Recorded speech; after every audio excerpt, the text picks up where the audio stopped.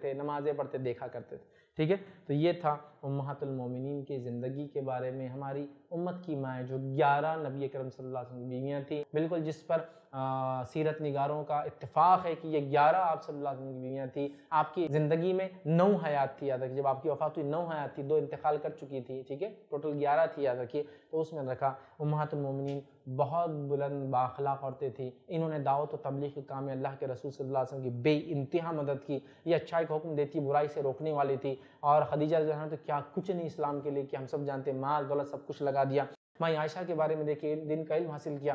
صرف اٹھارہ سال کی عمر تھی جب نبی اکرم صلی اللہ علیہ وسلم وفات ہوئی، لیکن اس کے بعد بھی علم، فن، ہنر، شاعری تفسیر کا اتنا علم تھا کہ بڑے بڑے صحابہ کے فتاوے لیا کرتے تھے۔ ان کے تعلق سے دیکھیے اچھائی کا حکم دینے، برائی کے روکنے میں اتنی آگے تھی۔ ان کے تعلق سے چند گواہیاں میں آپ کے سامنے رکھتا ہوں۔ عطا فرماتے ہیں کہ عائشہ تمام لوگوں میں سب سے بڑی فقیہ، عالمہ اور سب سے بہترین صاحب الرائے تھی۔ اس کے علاوہ ان کے تعلق سے حشام بن عروہ اپنے والد عروہ سے نقل کرتے ہیں کہ انہوں نے فرمایا، میں نے فقہ، طب اور شعر کے بارے میں عائشہ سے زیادہ جاننے والا کوئی انسان نہیں پایا۔ اتنا وہ تھا۔ اور ان کے انتقال پر ایک تابعی کہتے ہیں، عبداللہ ابن عبید اللہ عمیر نے فرمایا، اس پر وہی شخص غمگین ہوگا جس کی وہ ماں تھی۔ مطلب جو ان کا انتقال ہوا، سب لوگ غمگین تھے مطلب ہر مسلمان غم میں ڈوبا ہوا تھا۔ چونکہ ان کی ماں تھی۔ اور جب ماں کا انتقال ہوتا آدمی غمگین مطلب جو نہیں غمگین، ان کی ماں نہیں تھی اس کا مطلب۔ ہر آدمی غم میں ڈوب گیا تھا جب ان کے انتقال کی خبر آئی۔ تو بہت بلند شخصیات تھے، بہت کچھ انہوں نے اسلام کے لیے کیا، عورتوں کے لیے شخصیت نمونہ ہے۔ آئیے بس چند باتیں کہہ کر اپنی بات تو ختم کرتا ہوں۔ امہات المومن کے سلسلے میں چند عام باتیں، چند عام معلومات، خالی نالج کے لیے۔ رسول اللہ صلی اللہ علیہ وسلم کی تمام بیویوں کا انتقال آپ کی وفات کے بعد ہوا۔ صرف حضرت خدیجہ اور زینب بنت خزیمہ رضی اللہ کا انتقال آپ کی حیات میں ہوا۔ دو ہی بیویاں آپ کے انتقال حیات میں کر گئی، باقی تمام کے تمام آپ کے انتقال کے بعد ان کا انتقال ہوا، جس میں سب سے پہلے اور سب سے آخری میں نے آپ کو بیس ہجری اور اکسٹھ ہجری کا واقعہ بھی آپ کے سامنے رکھ دیا۔ سب امہات المومنین کی تدفین جنت البقی میں ہوئی۔ صرف حضرت خدیجہ کی تدفین جو ہے مکہ میں حجون کے مقام پر ہوئی اور میمونہ رضی اللہ کی تدفین جو تنین کے قریب ایک مقام صرف میں ہوئی۔ دو امہات المومنین کو چھوڑ کر باقی سب کی وفات ہونے کے بعد جنت البقی میں تدفین نو کی وہاں ہوئی اور دو جو ہے الگ الگ ایک مکہ میں ہوئی اور ایک تنیم کے مقام صرف میں ہوئی، یاد ہے کہ دو کی۔ اس طرح رسول اللہ صلی اللہ علیہ وسلم کی دس بیویاں آپ کے باپ کے طرف سے رشتہ دار تھی اور ایک بیوی باپ اور ماں دونوں کی طرف سے تھی۔ مطلب ٹین وائفس آپ کی پوری کی پوری آپ کے والد کی طرف سے رشتے میں آتی تھی۔ مطلب یہ بھی خورائشیہ تھی سب کے سب۔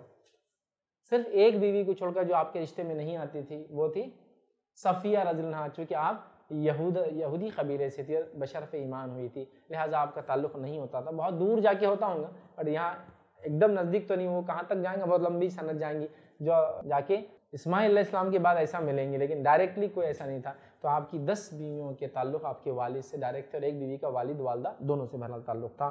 اسی طرح نبی اکرم صلی اللہ علیہ وسلم نے میمونہ جویریہ اور زینب بنت جہش کا نام چینج کیا۔ ان کا نام تینوں کا پہلے برا تھا۔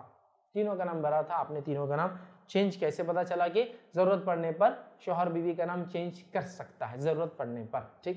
اسی طرح جو ہے، آپ کے ساتھ شادی سے پہلے زینب بنت خزیمہ، زینب بنت خزیمہ، صفیہ رضی اللہ میمونہ رضی اللہ اور خدیجہ رضی اللہ عنہ جو ہے، ان کی دو دو شادیاں ہو چکی تھی، یاد رکھیں چار امہات المومنین کی آلریڈی دو دو میرجز ہو چکی تھی متعلقہ تھی اور کچھ بیوہ بھی تھی ساتھ میں۔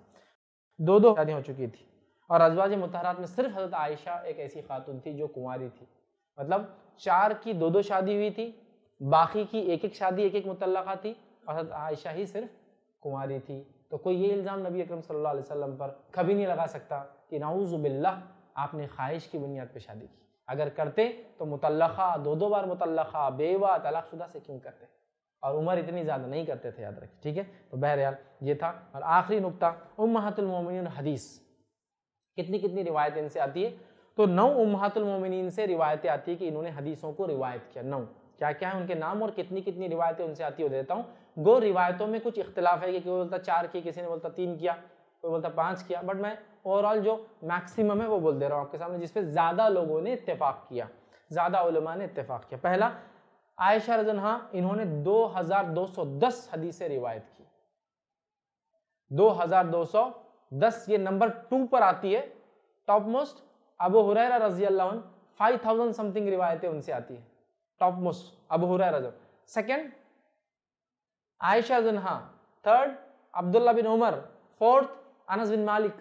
یہ وہ ہے جو ٹاپ موسٹ شروعات ہیں، جن نے سب سے زیادہ روایتیں کی۔ تو یہ سیکنڈ نمبر پہ آتی ہے۔ دو ہزار دو سو دس حدیثیں آپ صلی اللہ علیہ وسلم نے روایت کی۔ سیکنڈ نمبر پہ ام سلمہ رضی اللہ آتی ہے جنہوں نے تین سو اٹھہتر تھری سیونٹی ایٹ حدیث نبی اکرم صلی اللہ علیہ وسلم سے روایت کی۔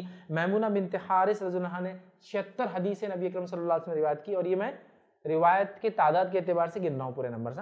اس کے بعد فورتھ نمبر پہ ام حبیبہ رضی اللہ عنہ جو بنت ابی سفیان نے پینسٹھ حدیث سکسٹی فائیو حدیث نبی اکرم صلی اللہ علیہ وسلم سے روایت کی، اسی طرح حفصہ بنت عمر ابن خطاب رضی اللہ عنہ نے جو ہے ساٹھ حدیث نبی اکرم صلی اللہ علیہ وسلم سے روایت کی، اسی طرح جو ہے زینب بنت جہش رضی اللہ عنہ نے گیارہ حدیث نبی اکرم صلی اللہ علیہ وسلم سے روایت کی، اسی طرح صفیہ رضی اللہ عنہ نے جو ہے دس حدیث نبی اکرم صلی اللہ علیہ وسلم سے روایت کی۔ اسی طرح جو جویریہ بنت حارث رضی اللہ عنہ نے سات حدیث نبی اکرم صلی اللہ علیہ وسلم سے روایت کی اور آخر میں جو ہے سودا رضی اللہ عنہ نے جو ہے پانچ حدیث نبی اکرم صلی اللہ علیہ وسلم سے روایت کی۔